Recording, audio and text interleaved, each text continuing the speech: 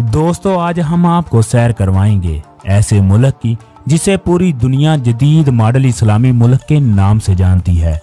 इस मुल्क में दुनिया का सबसे बड़ा और वजनी फूल भी पाया जाता है। इस मुल्क को सांपों का घर भी कहा जाता है। इस मुल्क में दुनिया का सबसे बड़ा सांप भी मौजूद है। इस मुल्क को मलाइशिया कहा जाता है।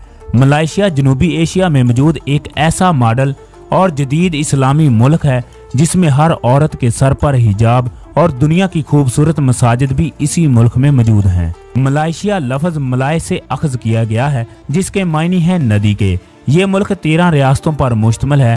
मलाइशिया की कुल आबादी चार करोड़ उनतीस लाख आठ सौ पंद्रह लोगों पर मुश्तमल है। मलाइशिया में इक्यावन फ़ीसद मलाई लोग, बाईस फ़ीसद चीनी बारह फ़ीसद मकामी लोग, सात फ़ीसद इंडियन और पाकिस्तान और बाकी दूसरे ममालक से आकर लोग इस मुल्क में रहायश पजीर हैं। आबादी के लिहाज से ये मुल्क पूरी दुनिया में सोलहवें नंबर पर आता है। इस मुल्क में बासठ फ़ीसद मुसलमान, नौ फ़ीसद क्रिश्चन उन्नीस फ़ीसद बुद्ध मत और सात फ़ीसद हिंदू शामिल हैं। अगर बात की जाए मलेशिया के रकबे की तो ये रकबे के लिहाज से पूरी दुनिया में छियासवें नंबर पर आता है। मलेशिया का कुल रकबा तीन लाख तीस हज़ार आठ सौ तीस मरबा किलोमीटर है। मलेशिया के हमसाया ममालक में Brunei, Indonesia, Thailand, Singapore, Philippines और वियतनाम मशहूर हैं। सिंगापुर जाने के लिए एक पुल का इस्तेमाल किया जाता है। मलेशिया के लोग सबसे ज़्यादा सैर के लिए सिंगापुर का रुख करते हैं। कवालालमपुर मलेशिया का दारुल हुकूमत है, जिसकी कुल आबादी आठ लाख उनतीस हज़ार लोगों पर मुश्तमल है। कवालालमपुर को इस मुल्क का सबसे बड़ा शहर होने का भी आज़ाद हासिल है। ये शहर सफ़ाई सुथराई और कारोबारी लिहाज से पूरी दुनिया में अपना मुनफरद मकाम रखता है। इस मुल्क में हर फर्द मसरूफ ज़िंदगी गुजारता है। काम काम और बस काम। ये शहर पूरी दुनिया में जदीद तरीन तर्जो ज़िंदगी की तामीर के हवाले से मशहूर है।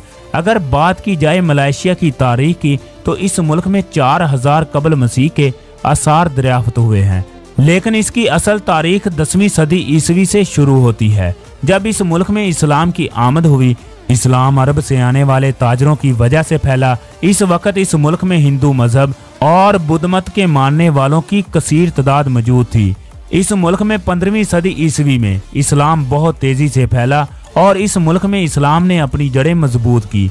मलाइशिया इस वक्त एक जजीरा था।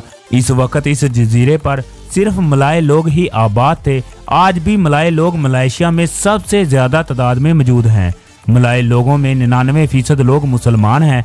अठारहवीं सदी ईस्वी में बरतानवी हुकूमत ने मलाइशिया पर कब्जा कर लिया। जिस तरह हर दौर में गुलाम कौम में से एक ऐसा शख्स ज़रूर पैदा होता है, जो इस गुलाम कौम को गुलामी की जंजीरों से आज़ाद करता है। इसी तरह मलेशिया के खानदान में भी एक लड़का पैदा हुआ, जिसका नाम अब्दुल रहमान था। इस लड़के की पैदाइश 8 फरवरी 1903 में हुई। और यही वो शख्स था जिसने मलाइशिया के हक में अंग्रेज़ों के खिलाफ आज़ादी का अलम बुलंद किया। और यही वो शख्स है जिसे मलाइशिया के लोग बबाए मलाइशिया के नाम से पुकारते हैं। तोंको मलाइशिया में शाही खानदान के शहजादे को कहते हैं और मलाइशिया में शाही खानदान के चश्मो चिराग अब्दुल रहमान को तोंको का खिताब मिला।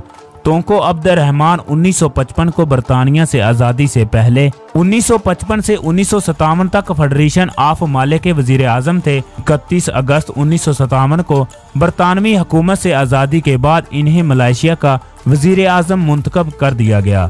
1960 तक ये मलाइशिया के वज़ीर आज़म के अहदे पर फायज रहे। 16 सितंबर उन्नीस को फेडरेशन का अहकाम अमल में आया। तो अब्दुल रहमान को मलाइशिया का नया वज़ीर आज़म मुंतखब कर दिया गया। 1965 में सिंगापुर, मलाइशिया से अलग हो गया तो इस वक्त भी यही वज़ीर आज़म थे 1970 में तोंको अब्दुलरहमान वज़ीर आज़म के ओहदे से रिटायरमेंट लेकर इस ओहदे से मुस्तफ़ी हो गए। इस जदीद मलेशिया के बानी को अतीर मोहम्मद कहा जाता है, जो जुलाई उन्नीस को मलेशिया के नए वज़ीर आज़म मुंतखब हुए और 22 साल तक मलेशिया के वज़ीर आज़म रहे। इन्होंने मलेशिया को जदीद तरीन ममालक की सफ में लाकर खड़ा किया। मलेशिया का तालीमी निज़ाम बदल कर इस मुल्क को ग्रेट मुल्क की लिस्ट में लाकर खड़ा किया। और इस वक्त मलेशिया के नए वज़ीर आज़म नजीब रजाक हैं, जो इस मुल्क का छठा वज़ीर आज़म है। तालीमी लिहाज से मलेशिया पूरी दुनिया में तीसरे नंबर पर आता है और इस मुल्क में तालीम की शरह निन्यानवे फ़ीसद है। मलेशिया का तालीमी निज़ाम पूरी दुनिया में जदीद तरीन निज़ाम में से एक है। इस मुल्क में सात साल के बाद बच्चे को स्कूल में दाखिल करवाया जाता है। इस मुल्क में ग्यारह इंटरनेशनल यूनिवर्सिटीज भी मौजूद हैं। अगर बात की जाए इस मुल्क की मीशत की, इस मुल्क की मीशत का इसार ज़रिए पैदावार और मदनियात और रबड़ पर है। इस मुल्क की ज़रिए पैदावार में चावल, स्ट्रॉबेरी, मकई और दूसरी फ़सलें शामिल हैं। इस मुल्क की मदनियात में सबसे ज़्यादा खाम लोहा और गैस शामिल है। ये मुल्क रबड़ एक्सपोर्ट करने वाला पूरी दुनिया का तीसरा बड़ा मुल्क है। ये मुल्क हर साल 10 लाख मैट्रिक टन रबड़ एक्सपोर्ट करता है।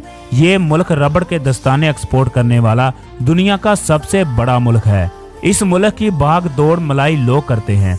यानी सियासत में सिर्फ़ यही लोग हिस्सा लेते हैं और इस मुल्क का निज़ाम संभालते हैं। चीनी लोगों की इस मुल्क में तीसरी नस्ल है। ये नस्ल के लिहाज से चीनी है, वरना चीन से इनका कोई तलक नहीं, और ना ही कभी इन्होंने चीन की शक्ल देखी है। इस मुल्क के तमाम कारोबार ये चीनी बाशिंदे ही संभालते हैं।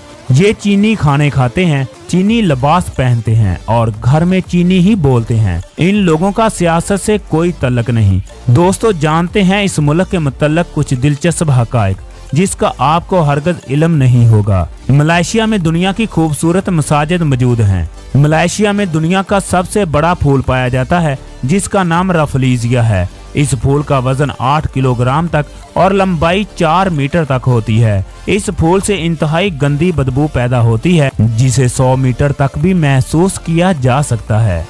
इस मुल्क को सांपों का घर भी कहा जाता है। इस मुल्क में 135 अकसाम के सांप मौजूद हैं। जिनमें कोबरा सांप सबसे ज़्यादा तादाद में मौजूद हैं। दुनिया का सबसे बड़ा सांप भी इसी मुल्क में पकड़ा गया है।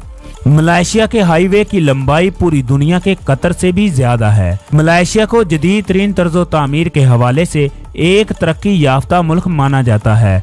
जो एशिया में आठवें नंबर पर और पूरी दुनिया में नौवे नंबर पर आता है। मलाइशिया में बहुत ज़्यादा बारिशें होती हैं। मलाइशिया में सालाना बारिशें 220 दिन तक रिकॉर्ड की गई हैं। मलाइशिया में पहली शादी पर टैक्स नहीं लिया जाता। दूसरी बीवी पर टैक्स लिया जाता है। तीसरी बीवी पर इससे ज़्यादा टैक्स और चौथी बीवी पर हद से ज़्यादा टैक्स बढ़ जाता है। मलेशिया की हुकूमत का मानना है कि पहली बीवी ज़िंदगी की ज़रूरत है। बाकी बीवी अयाशी के लिए होती है। जो शादी कर सकता है, वो टैक्स भी अदा कर सकता है। मलेशिया में मुसलमान मर्द को शादी करने के लिए पहले हज लाजमी अदा करना होता है, वरना दुल्हन शादी से इनकार कर देती है। मलेशिया में मौजूद ट्विंट टावर खूबसूरती और जिद्दत और इनफरादी डिज़ाइनिंग की बदौलत पूरी दुनिया में अपना मकाम रखता है। ये 2004 तक पूरी दुनिया की बुलंद बिल्डिंग होने का भी आजाज रखती है। इन दोनों बिल्डिंगों को एक खूबसूरत ब्रिज से जोड़ा गया है। मलेशिया में सबसे पहली फ़िल्म लैला मजनू दिखाई गई है। मलेशिया पूरी दुनिया में पाम ऑयल एक्सपोर्ट करने वाला दुनिया का सबसे बड़ा मुल्क है। दुनिया की सबसे बड़ी हाथ से बनाई गई झील मलेशिया में मौजूद है। मलेशिया कारोबारी हजरात को आर्जी नेशनलिटी देता है और बाद में इन्हें मुस्तकिल कर देता है। इसके लिए आपको माली लिहाज से मज़बूत होना लाजमी है। मलेशिया में औरतें हजाब की सख्त पाबंद होती हैं। ये औरतें नीचे मिनी स्कर्ट पहने या कुछ और पहने। इनके लिए हजाब बहुत ज़रूरी होता है। पूरे रमज़ान में मलेशिया में रेस्टोरेंट और बाज़ार खुले होते हैं। खाने पीने की कोई पाबंदी नहीं होती। मलेशिया में शराब नोशी पर सख्त पाबंदी है। शराब पीने वाले को आठ साल की जेल भी हो सकती है। शराब पीने के लिए आपके पास लाइसेंस होना ज़रूरी है।